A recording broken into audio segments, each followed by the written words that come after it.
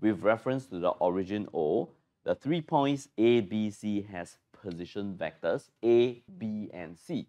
So given that OA position vector, this is A, OB, this is equal to B, and OC, this is equal to vector C. And we're also given that vector A plus vector B plus vector C, this is a zero vector. Part 1. Part 1, we are supposed to show that A cross B is equal to B cross A. Let's start with one of the sides. So let's say let's start with the left-hand side. So A cross B. In order for me to show that this is equal to B cross C, we need to find a way to replace A, isn't it? Because on the right-hand side, it involves only B and C. So in order for me to replace A, I'm going to make use of this piece of information that is given to me. Because according to this, A is going to be equal to minus B minus C. So let's try to see whether it is possible for us to get this to be equal to B cross C if I were to replace A here by minus B minus C. So I have this cross B, we will have a minus B cross B minus C cross B. And what is B cross B? B cross B is a zero vector minus C cross B is equal to minus B cross C. So this is minus B cross C. So we have a 0 plus B cross C. This is B cross C. And this is what the question wants us to show. Then in part 2, we are given that angle AOB is 180 degrees. Let's have a quick visual of what is happening. So let's say here is point A, here is point O, and here is point B. So according to what the question says, AOB. This is 180 degrees. So just based on this itself, right, you can really see that AOB, they are lying on the same straight line. In fact, this is vector A and this is vector B. This tells me that vector A is going to be parallel to vector B. And if vector A is parallel to vector B, by making use of what we have here, what is A cross B? A cross B, this is going to be equal to a zero vector since A and B are parallel to each other. So since angle AOB is equal to 180 degrees, we know that A cross B is equal to a zero vector. And what is A cross B? A cross B is B cross C. So therefore, we know that B cross C is also going to be a zero vector. And if b cross c is a zero vector, this tells us that vector b is going to be parallel to vector c. And this is OB is going to be parallel to OC. So if I were to try to visualize this again on this little diagram that is over here, we know that AB is going to be parallel to, sorry, we know that A is going to be parallel to B, and now B is also parallel to C. C is a position vector, so it is also going to be starting from the origin. So from here, maybe C is here, maybe C is here. Let's say C is here. So if I were to just extend this a little bit, we have C here.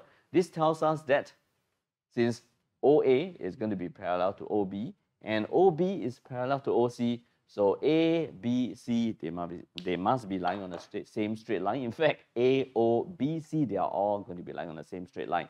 The question is asking us about A, B, C. So I can say that, therefore, A, B, C, they are lying on the same straight line or I can, I can replace this with a one single um, descriptive word which is collinear. So A, B, C, they are collinear. Okay, collinear means that the three points are lying on the same straight line. Let's move on. Let's take a look at part 3. So we have part 3 here.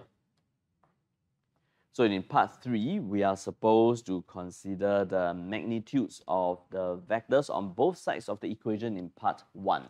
In part 1, we have this A cross B. This is equal to B cross C.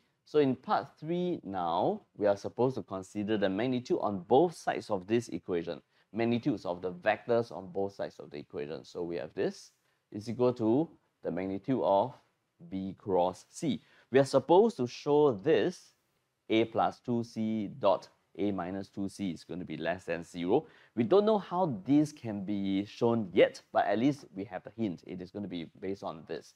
So by making use of the definition of cross product, the magnitude of this is going to be magnitude of A multiplied by magnitude of B, sine of the angle that is between them, which is angle AOB. This is equal to magnitude of B multiplied by magnitude of C, sine of the angle that is between them, which is angle, here I'm going to use angle BOC. So modulus of B and modulus of B, they can be cancelled. This is going to be modulus of A sine angle AOB. This is going to be equal to modulus of C sine of this angle. According to the question, this angle is 2 times of this angle. So let me write it down. 2 times of angle AOB. I'm going to apply trigonometric identities. So I'm going to apply this. I'm going to apply the fact that sine 2a, this is equal to 2 sine a cosine a. So I'm going to try to re-express this over here. So we have a modulus of a sine angle AOB. This is going to be modulus of C. This will be 2 times of sine angle AOB cosine of angle AOB. And I guess this and this can be cancelled. So I have now deduced this modulus of A is equal to modulus of C, then 2 times of cosine angle AOB. Okay, we have gotten this, but we still don't know how we can prove this over here.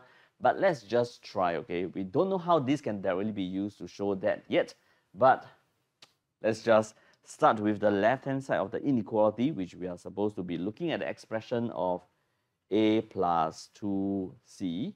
So we have this dot a minus 2c. So let's see whether we can make use of this result here to try to show that this is less than 0.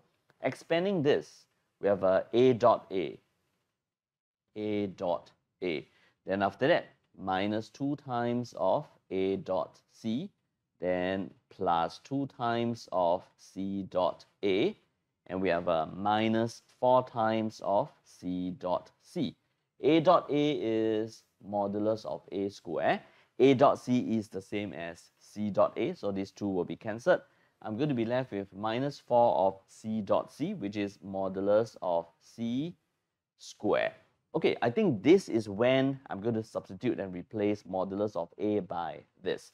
So this is going to be, if I were to replace modulus of a by this, so it's going to be this square. So we have a 2 square, which is going to be 4. Then this is going to be modulus of c square. And this is cosine square of angle AOB.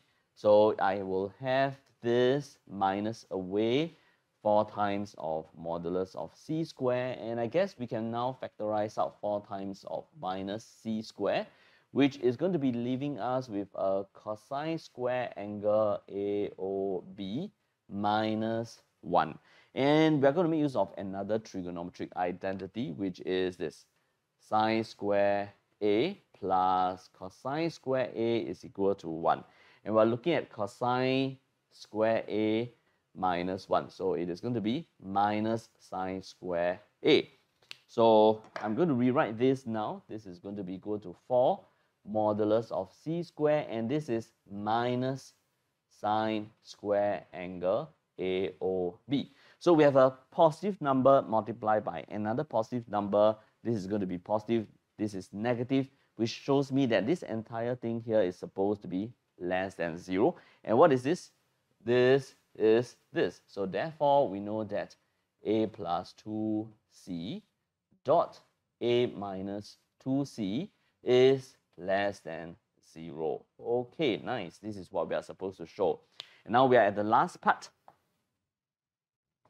Now to look at this last part of here, I'm going to make use of the result that we have uh, obtained in part 1, which is A cross B. This is equal to B cross C. Let me tell you what I can do with this result that is from part 1 because A is actually vector OA.